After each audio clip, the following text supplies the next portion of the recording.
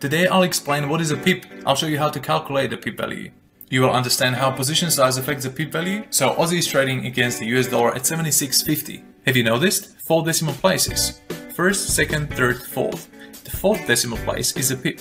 Some brokers actually quote currencies on five decimal places, so you can actually make better decisions. The fifth decimal place is a pipit. This is how it would look for dollar yen. 120.73. First and second, so the second one is a pip. Third one is a pipit. Easy to remember is, if you see 5 decimal places, the fifth one is a pipit, fourth one is a pip.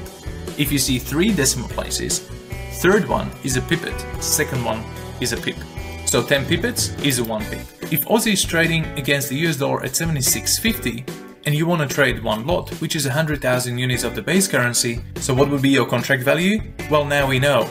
Your exposure times the exchange rate would give you your contract value. Pay attention, 76,500. What if the Aussie moves from 76500 to 76550? This is a move of 5 pips or 50 pipits. Why? Fourth decimal place, from 0 to 5. So, how this would affect our contract value? So Aussie is trading now at 76550. Same lot, 100,000 units. Your exposure times the exchange rate will give you now a contract value of 76,550. Have you noticed? The move from 76500 to 76550 is actually 5 pips. So the contract value has changed from 76500 to 76,550 which is a difference of 50 US dollars. So 50 US dollars difference, 5 pip move. 1 pip is 10 US dollars if you're trading one lot. If you were to trade smaller than that, let's say 1 mini lot, the same pip would be worth less, $1.